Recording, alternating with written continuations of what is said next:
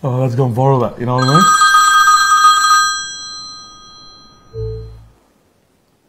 Yeah, what do you want? I'll be home when I'm ready.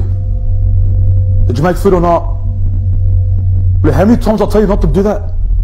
You know what? You're useless. You mean nothing to me. You're a shame, not just to me, to the whole family. Do you understand? I'll come home when I'm ready. Do you understand? Yalla, bye. What's that, Steve? She frustrates me, man. I can't take it anymore. I've been having dramas for the last couple of years. It's only getting worse. I'm over it. That's appalling. I can't believe you speak to your wife like that. She doesn't get it.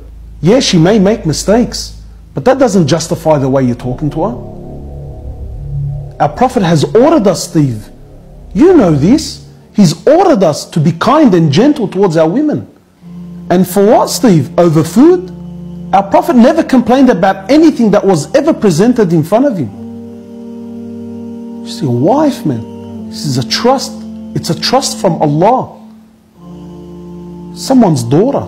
That's someone's sister. Do you want someone to speak to your daughter like that? You want someone to treat your sister like that? You're a Muslim, Steve. You're better than that. You're right. I am better than that. She deserves better than that.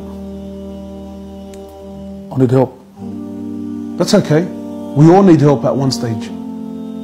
Seeking help, Steve, doesn't make you less of a man. Makes you a better man. So you can start off by apologizing and buy her a gift. And don't worry, I'll help you. I'm gonna change. Inshallah.